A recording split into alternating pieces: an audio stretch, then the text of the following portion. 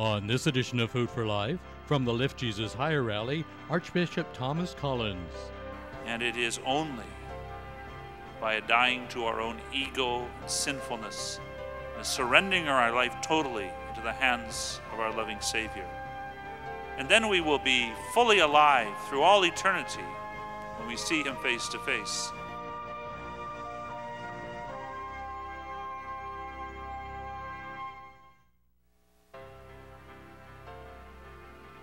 Things are on the surface and some things are deep. The questions we face as we journey along. And one of the most deep questions, most profound, most central, is a simple one What is life and what is death? The church calls us who have journeyed so far in this holy season to stop, reflect, and ponder that deep question What is life? What is death? We're introduced to that question at the very beginning of every Mass when we hear the words, May Almighty God have mercy on us, forgive us our sins, and bring us to everlasting life. That speaks to us. And it tells us what is death. It is the death of sin within our hearts. It is what the, the apocalypse we hear of as the second death, the death which is internal, which we do not predict, but which we experience by our own actions and our rejection of the Lord. And which calls us, especially in this holy season, but always, to repentance May Almighty God have mercy on us and forgive us our sins, free us from that hand of spiritual death, which is most profound. For that we can be freed from. Earthly death is another matter. It is the door through which we all pass. But internal death, spiritual death, we need not experience because of the loving mercy of the Lord. May Almighty God have mercy on us, forgive us our sins, and in that bring us to everlasting life. With our sins forgiven, bring us to everlasting life. We see in the, the gospel today a preliminary sketch of what all this is about. And the sadness which is in our hearts physical death, shared also by our Lord when his dear friend Lazarus died in this world. And he grieved and mourned for him, as do we all, in his humanity. Anyone who thinks that human, physical, natural death is, is nothing is simply fooling themselves. The Lord himself mourned for Lazarus. And the Lord performed a miracle to bring him back to physical life. What is death, what is life, it is the destiny of us all, and it is what we experience now in a natural way. But as with all of the miracles of our Lord, it points us to something much more profound. Because the raising up of Lazarus is a sign of something much greater all it means in itself is that Lazarus ended up having two funerals, which is not in itself an important point. There's got to be more than that. For the everlasting life which the Lord gives to us when He says, I am the resurrection, I am the life, I am the way, the truth, and the life. It is found in that deep and profound experience of our risen Lord. And this, the miracle of the mere freeing from human death, temporarily in the case of Lazarus, is just a sign to lead us deeper to a more profound reality, which we speak of at every Mass when we pray. May Almighty God have mercy on us, forgive us our sins, and bring us not to the life that was given to Lazarus for a little bit of an extension, but bring us to everlasting life, to the life that comes from our risen Lord. That is our destiny and our goal in the plan of God. And the pathway to that is found through penitence, through a humble spirit and a repentant heart. We can die before we're dead, and we can be alive. We will be alive after we're dead. Depends what you mean. For eternal life begins here, in this world, in our earthly, brief earthly journey. It begins this resurrection, this experience of that, as the Lord touches us day by day it is experienced most profoundly until we see Him face to face when we come together for the holy sacrifice of the Mass, where we begin with, Lord, have mercy, which is the pathway towards everlasting life,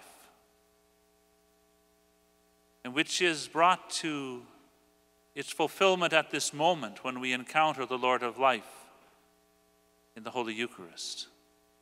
He who speaks to us in the gospel that brings us life, and he who comes to us himself, my Lord and my God, who leads us then back out into this world for whatever is left of our earthly journey, be it short or long, but not just to exist until we pass through that doorway, but to be fully alive as servants of the Lord, repentant in heart, loving in life giving ourselves to the love of God and neighbor day by day. In that we are alive, truly, and for all eternity. And then we are brought to that perfection when we see Him face to face. We try, we try and try to draw a false life from all kinds of toys and baubles and useless enterprises.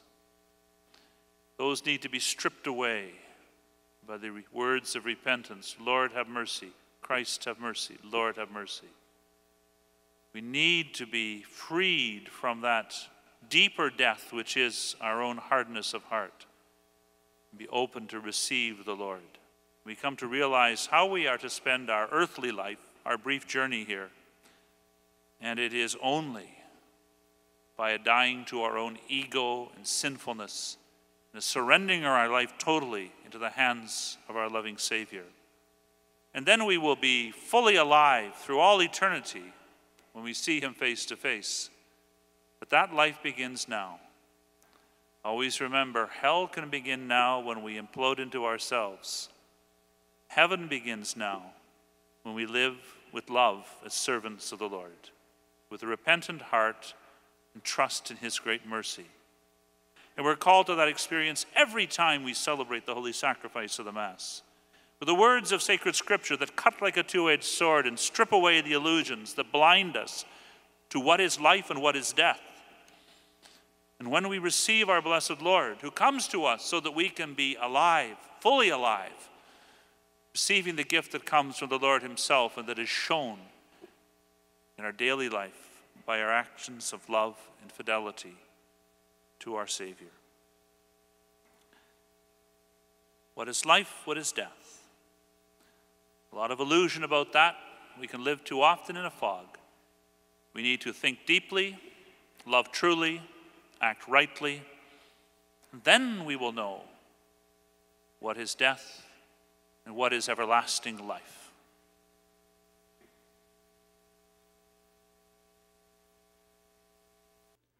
For an audio CD or video DVD of the teaching by Archbishop Thomas Collins, we invite you to write to us. Our address is Food for Life, Box 1107, Station F, Toronto, Ontario, M4Y2T8. When you write, ask for an audio CD or video DVD of the teaching by Archbishop Thomas Collins.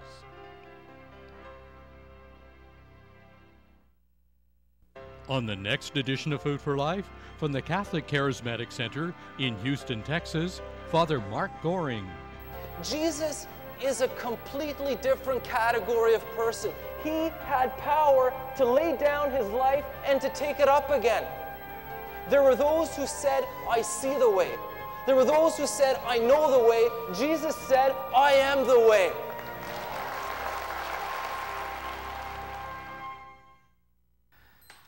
I want to read to you an interesting passage from the prophet Isaiah. It's in Isaiah chapter 25, verse 7. And it's kind of a, a, a prophecy of what is to come, kind of a, a prophecy of, of heaven and, and when all things are, are, are fulfilled and, and all of that, of what we have to hope for. And, and the Lord says, uh, through Isaiah, Isaiah says, and he will destroy on this mountain the covering that is cast over all peoples, the veil that is spread over all the nations. There's this prophecy that whatever is veiling us, whatever is covering us, that's going to be lifted in, in the next life or, or, or when all is fulfilled. And a lot of, of, of saints and mystics have kind of alluded to this reality that in this life, there is a kind of a veil that does prevent us from seeing fully the fundamental reality of who we are and, and the reality that we find ourselves in. We do not see perfectly and clearly. And um, again, the Lord promises that He, he wants to, to lift this, that the day will come where we will see these things uh, clearly. Now, the truth is, though, is that the Lord already in this life wants us to, to have a glimpse or, or to come to a better uh, sight of the reality of, of, who we are and, and uh, what the Lord uh, has for us. And so I just want to share like some of some of these fundamental realities that so often you could even say we're blind to that the, the, the veil just prevents us from seeing altogether. First of all the reality the simple reality that god is good. Do you know that? Do do you see that? Do you see the goodness of your god? The reality that our God is an infinitely loving God who, who's pleased with us, who, who delights in us, who made us out of love for love. That our God is a good God. He's not a stern God. He's not a mean God. He's not a vengeful God. He is a good, infinitely loving God who wants, who wants the best uh, for us. Do we see that? Do we recognize that? Second reality is just a reality that life is fundamentally good.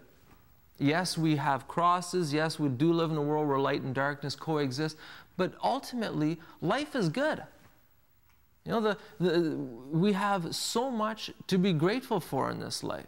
You know, the very gift of life, the, ver, the very reality that I'm alive and, and, and can enjoy this life, that, that's, that's awesome. And again, so often we don't, we don't see this. Third reality is a reality that every one of us is fundamentally blessed. You know, I love when I meet people and I ask, I ask them, how you doing?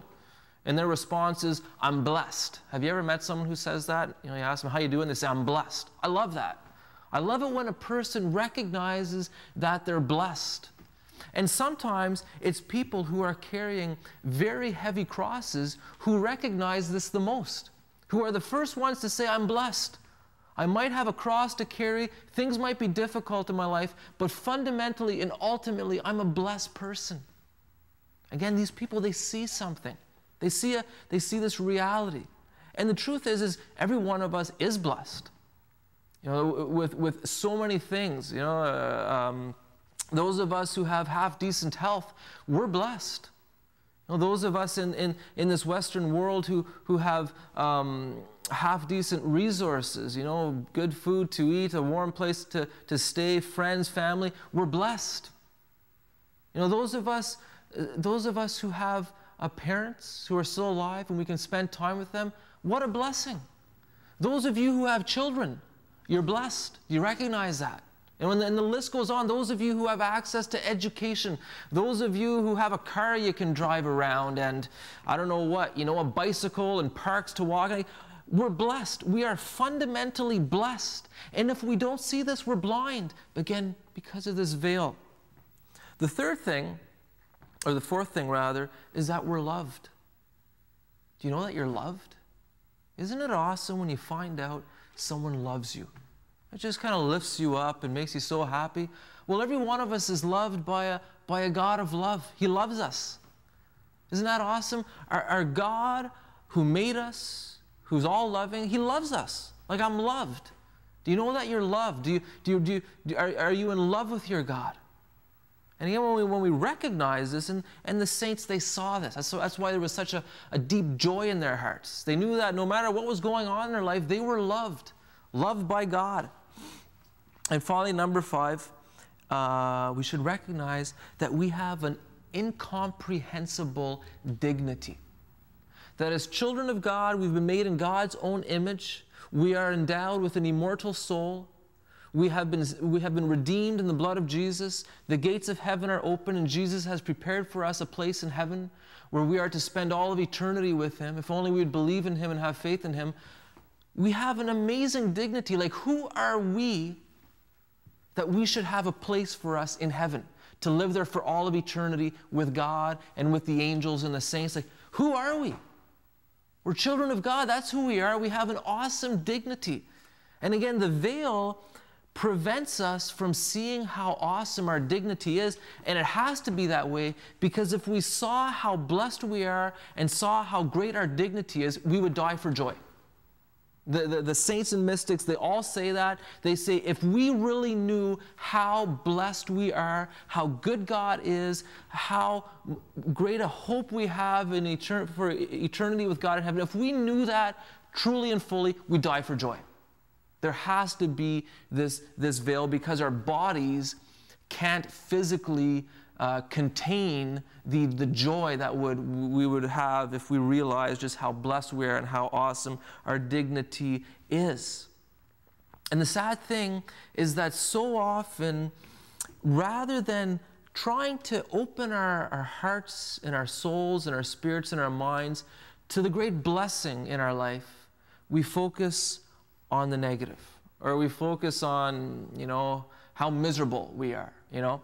And, um, and I, I know even myself in my own life, as I grow closer to God, the reality of how good God is, how blessed I am, how, how much hope there is for us as children of God, and all that, as I grow in this love for God, um, it, it, becomes more, more clear to me just just how, how how real this is. And what happens with me is, you know, I find myself sometimes looking back in my life before I came to know the Lord. You know, I, I, and I think to myself, even then, the Lord was good to me. Even when I wasn't interested in God, He was still spoiling me. He was still blessing me beyond what I could comprehend. You know, and, and sometimes I'll have these, these memories you know, of, of, a certain time in my life before I knew the Lord, before I really loved the Lord, where I, where I realized God was loving me then. He was spoiling me. He was caring for me. I was still His son that He loved infinitely. And I remember one, I'll give you one example. When I was a teenager, my brother and myself, we bought new, new bicycles, new mountain bikes. And it was in the spring. And my family, my mom and dad, took our bikes, put them in the back of the car, and we went to a forest. And, and it was still a little wet from the snow melting. And my brother and I, we, were, we went out mountain biking on our new bicycles. And I had a blue bicycle. That's my favorite color, you know. And it was just, just a beautiful day. I was with my mom and dad, new bicycles, with my brother, you know, good health. Everything, everything was wonderful. And I, I think to myself, like, at the time, I guess I took for granted just how blessed I was. And yet the Lord's blessing was on me, His care was on me. And I look back with, and I kind of find myself repenting, you know, saying, Lord, I'm so sorry that I didn't recognize your goodness. And I'm so sorry, Lord, that I wasn't more grateful in those times just, just for you, you know, for how, for how good and how awesome uh, you are. Now, Scripture does challenge us to try to, to see these higher realities. From Colossians, for example, St. Paul says, If then you have been raised with Christ, and this is Colossians chapter 3, verse 1 and 2. If then you have been raised with Christ, seek the things that are above, where Christ is, seated at the right hand of God. Set your minds on things that are above, not on things that are on the earth. Know, we get so caught up in petty details of this earthly life, and I know we have to be concerned about them at one level, but St. Paul tells us set your mind, set your heart on things that are above. Know, think about how good your God is, how blessed you are, uh, how, your awesome dignity as a child of God, your destiny to spend eternity with God in heaven. And Jesus in, in uh, chapter, uh, in Matthew, Gospel of Matthew, cha- chapter 13, verses 15 and 16, Jesus says, For this people's hearts, for this people's heart has grown dull, and their ears are heavy of hearing, and their eyes they have closed, lest they should perceive with their eyes and hear with their ears and understand with their heart and turn to me to heal them. But blessed are your eyes, for they see, and your ears, for they hear. And this is a constant recurring theme in Scripture where the Lord says to us, He says, You have eyes, but you do not see. You have ears, but you do not hear. Like I'm blessing you, I'm caring for you, I'm, I'm spoiling you. You don't see it, you don't hear it. You're complaining about petty things, you're getting caught up in, your, in yourself, you know, and, and not setting your hearts on things that are above. And again, the Lord commands us open your eyes. And when Jesus was, would heal the blind, that was a sign of our spiritual blindness. Open your spiritual eyes that you may see. But you know, the reality is that some people, in, for some strange reason, they don't want to see the truth. They don't want to see the truth of how blessed they are. They don't want to see the truth that they have a loving God who, who, who loves them infinitely. They don't want to see the truth that they've been redeemed in the blood of Jesus and that the gates of heaven are open for them, that they can spend eternity with God. And they don't want to see that truth.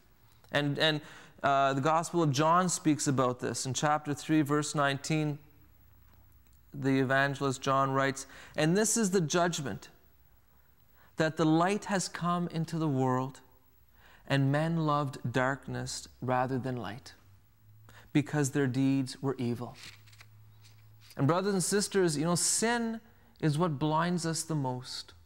When we turn in on ourselves, when we, when we try to cling to things that are just going to drag us down, that we know are wrong, that we know are against God commandment, God's commandments, when we cling to those things, when we turn to those things, when we turn in on ourselves, it blinds us. It blinds us, and we find ourselves in misery. Even though we're surrounded with blessing and grace and favor and goodness, we're immersed, we immerse ourselves in misery. And this is, this is what the Lord wants to call us out of. He wants to say to us, Open your eyes. I love you. Open your eyes. I'm blessing you. Open your eyes. I- have died for you. The gates of heaven are open for you. Open your eyes. I want you to see. I want you to go through life with your eyes wide open. And so, again, I'll read to you from Colossians. St. Paul says, If then you have been raised with Christ, seek the things that are above, where Christ is seated at the right hand of God. Set your minds on the things that are above and not on things uh, not on things that are on the earth. And so brothers and sisters in Christ, let the Lord touch your eyes that you may see. Let him touch your ears that you may hear how good the Lord is. We receive many prayer requests at Food for Life. Some people have been praying for many years for their loved ones for a certain situation. Others are facing a sudden, catastrophic, life changing situation. So often I'm inspired by the faith of these people, by their trust in the Lord as they wait on Him. Trusting in the Lord can be quite a challenge. It's not always an easy thing to do. I myself am guilty at times of focusing on the problem at hand and becoming anxious rather than taking my focus off the problem, focusing on the Lord, trusting in Him, and experiencing His peace. But that's just what we need to do when we encounter a difficult situation. It's not easy to trust in the Lord, but that's what we need to do. And I don't say that lightly or flippantly, But anxiety is so counterproductive. I think of the words of Jesus in Luke 12 25. Which of you, by being anxious, can add a cubit to his span of life? So, anxiety is just counterproductive for us. I remember a situation in my own life a number of years ago. It was a very stressful situation. I had gone beyond anxiety into fear, and I was sitting at, home praying in my living room. And I was anxious, fearful, and then I was angry at myself for not trusting the Lord and experiencing His peace. And there was just all this turmoil. And I was just wishing and praying that I would get a word from the Lord, a word of comfort. And out of the blue, my eldest daughter came bursting into the room and said, Mummy, I just forgot. I made something for you at school. Here it is. And she handed me a bookmark and ran off. And I looked at the bookmark, and it was a picture of Jesus. And the words below said, Even when you are afraid, I am with you. And it was such a timely word for me and just what I needed to hear. The reality is is that we do go through some anxiety and fear if we're going to be completely honest. And Jesus is with us through the fear, through the anxiety. But he does not want us to remain there. He wants us to take our focus off the problem, which creates anxiety, and place our focus on him, trust in him, because he himself is our peace. Isaiah 26 3 says, Thou dost keep him in perfect peace whose mind is stayed on thee because he trusts in thee. You know, God sees the big picture. We only see a little snippet, but he sees the beginning from the end. So when we lean our, on our insight, we can get very, very confused. Proverbs 3 5 and 6 says, Trust in the Lord with all your heart. Lean not on your own understanding or insight. In all your ways, acknowledge him, and he will direct your paths.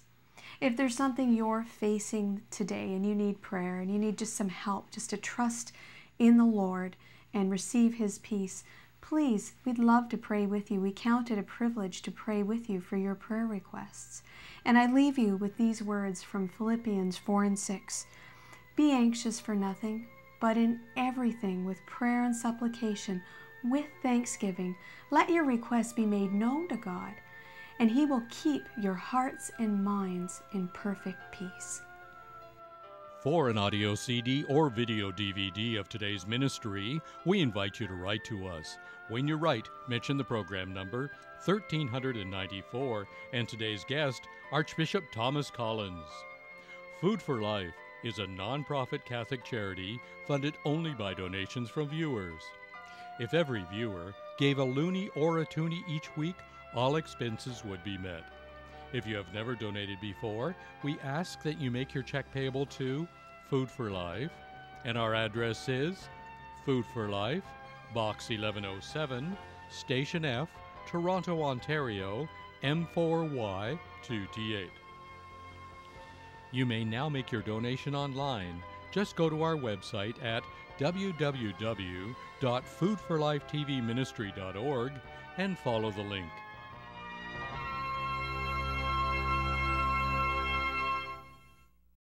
On the next edition of Food for Life, from the Catholic Charismatic Center in Houston, Texas, Father Mark Goring. Jesus is a completely different category of person. He had power to lay down his life and to take it up again. There were those who said, I see the way. There were those who said, I know the way. Jesus said, I am the way.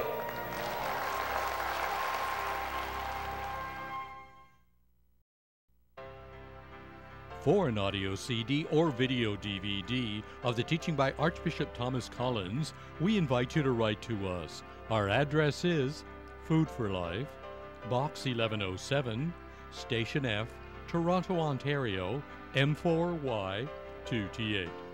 When you write, ask for an audio CD or video DVD of the teaching by Archbishop Thomas Collins.